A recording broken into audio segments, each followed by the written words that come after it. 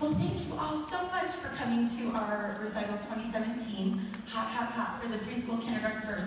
This is our first time we've ever done this as just a small little recital, and it went really well. Um, hope you guys enjoyed our show. They did so awesome.